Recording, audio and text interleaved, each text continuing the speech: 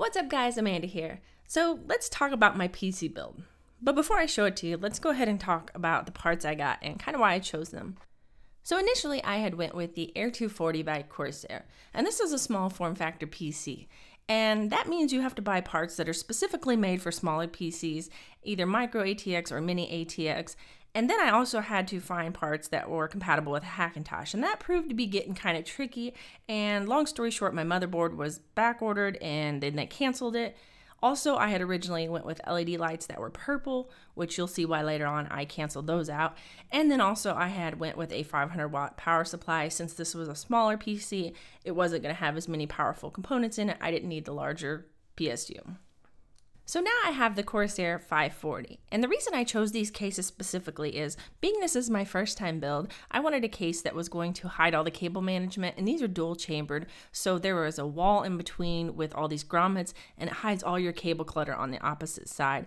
And with this size case, I don't have to worry about any of my parts fitting. They're all gonna fit. So here is an overview of all the parts I got. There's still a few things I need to add, but just due to money and it was at Christmas time, I didn't have a whole lot of extra cash to spend. So some of the things I'm gonna have to save up and some of the things I still need to make sure they're gonna be compatible with the Hackintosh.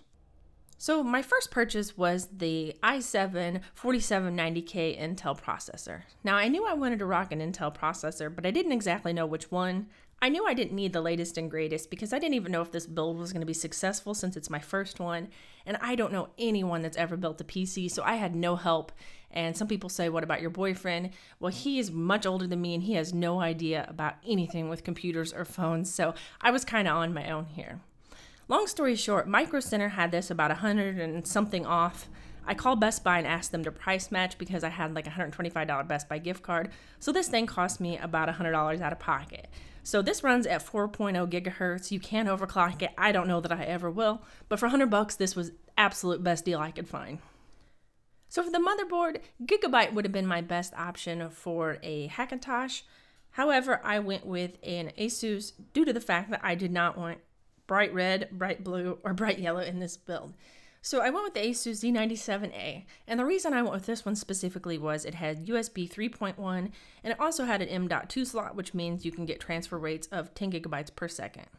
And considering this is an editing build for me, I will do some gaming on it, but that is not my main priority. I wanted this to have fast transfer rates so that I could export quickly and save all my videos quickly, and it just to streamline the process of everything.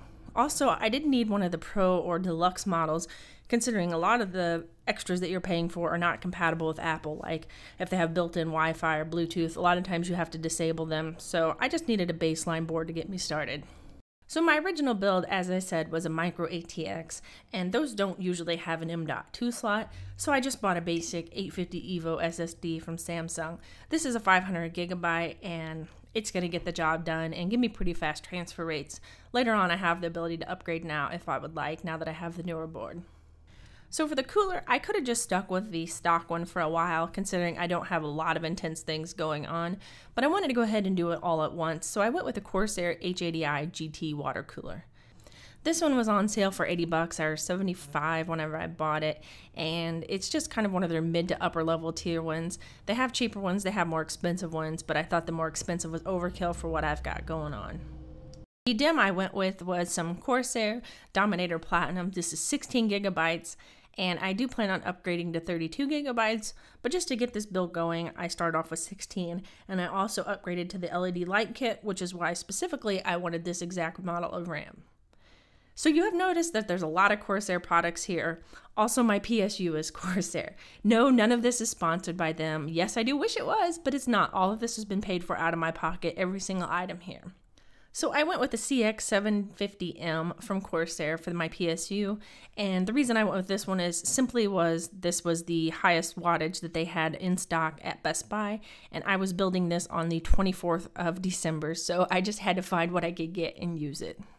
So this was a non-necessary component, but this was an absolute must-have. This is the NZXT Hue Plus. And once I saw this, I knew I had to get my hands on it, and it was sold out everywhere. And in fact, this is why I got rid of the purple LED fans, was because I wanted just the simplicity and streamline of the white fans, and be able to customize and control all these RGB colors with this and not have anything clash. And I just think it looks fantastic, even though it's a little hard to get your hands on. So, guys, that's basically it. Yes, I've got this all up and running. No, I have not got the Hackintosh side of it going. I worked on it a couple days, was getting frustrated. I don't really know where to turn for answers. Yes, I've used Tony Mac. I've posted on the forums there to try to get help, but I'm a little lost and I may just have to wait until some updates come out for these things to get a little more compatibility.